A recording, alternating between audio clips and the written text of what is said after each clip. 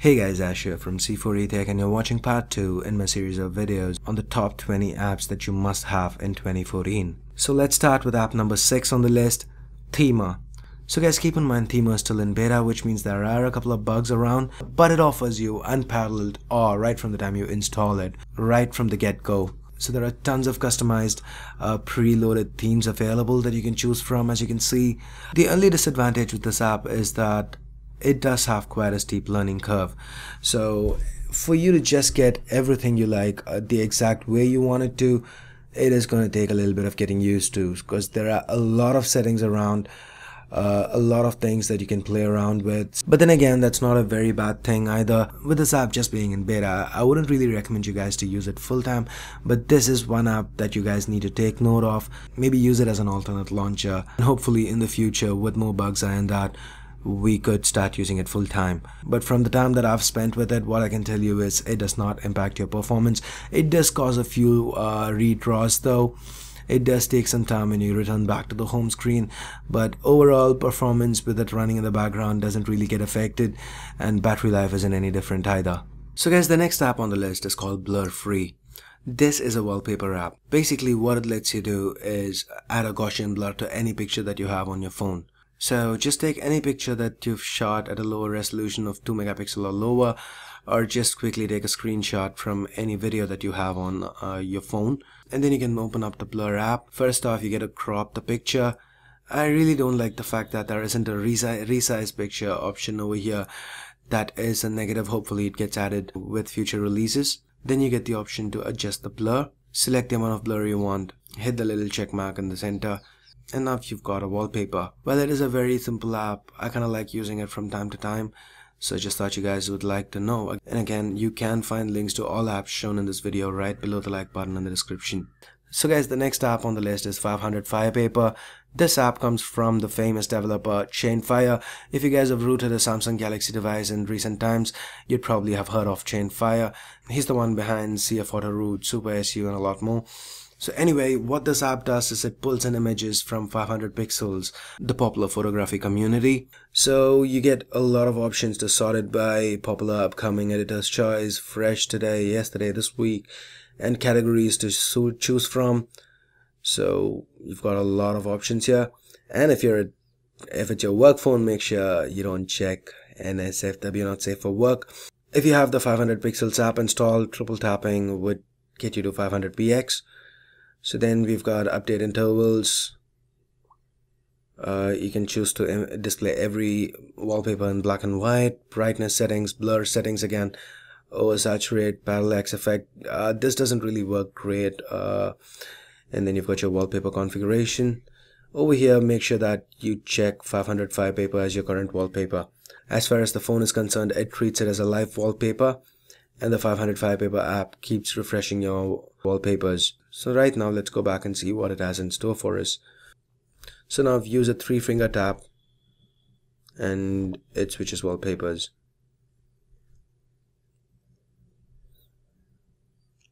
So guys, say there is a wallpaper that you saw on your phone earlier today that you really like. You can still go back to that, go into 500 Firepaper and uh, History Browser.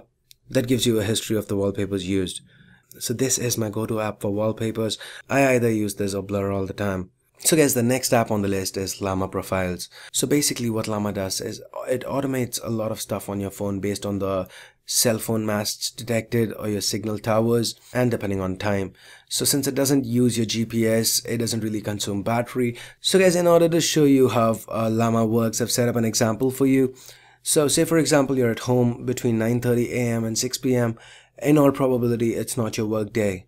So I've got Llama set up to automate uh, changing your profile to normal so it doesn't have to be on silent turning Bluetooth off because you're probably home turning mobile data off and Wi-Fi on because again you're at home your Wi-Fi is probably working.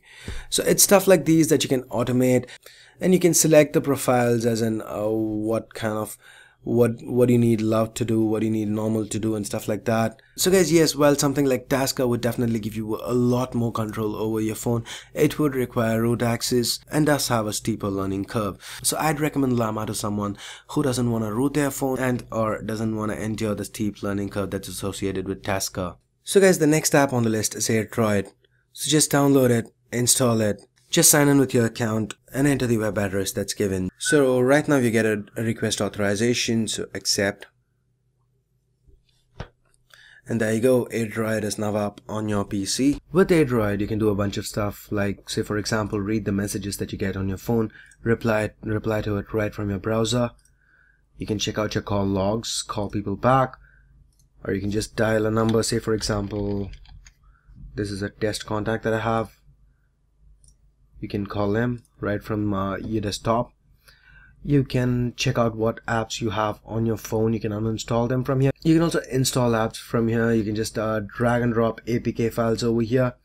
Select app drag and drop AP apks over here. On the clipboard you can enter some stuff that you can paste while you're on the phone. Open up urls drag and drop uh, say for example if there is a picture that I want to drop I can just drag it drop it it gets transferred to the phone. So you can access your contacts your files in your storage. Again another way for you to just uh, transfer files from your phone uh, to the PC and vice versa. Check out the photos on your phone. These are the pictures that we shot while we were taking a look at the blur uh, application. You can also take a screenshot but this one requires root access so so AirDroid by default does not require root access, uh, but for the screenshot app, which actually shows you what's happening on the phone. So right now, let me, this is me opening up apps on the phone. So you can actually see what's happening on the phone. So let me quickly go to gallery. Okay, photos would do. So this is the file that I just transferred. This is the picture file that is just transferred over I dragged and dropped over here. And in case your phone is lost you can find your phone using the find phone option. So let me just sign in. It doesn't work great. Uh, if you upgrade to the premium service you can actually have AirDroid take a picture of whoever tries to unlock the phone. So that's there. You get quite a few features uh, with the premium uh, version and you can set up a passcode so that anyone who tries to unlock your phone will run into this passcode you can also remotely wipe the device and uh, this is to choose different devices that you have AirDroid on and another thing guys is right now if I'm connected via my Wi-Fi network. You can also use cellular data to connect to your phone. You can access it even if your phone is not connected to the same Wi-Fi network. So that's pretty much it guys. I guess we are out of time. So we'll take a look at the remaining 10 apps in the next two videos. So what do you think about the apps shown in this video? Do you like them? Do you think you could find them useful or are you already using them? Let me know your thoughts in the comments below.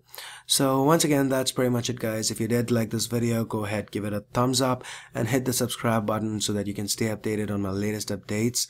And uh, once again, that's pretty much it. Thanks a lot for watching and I'll catch you guys soon in the next one. Till then, this is Ash here from C4E Tech signing off. You guys have a great day. Bye bye now.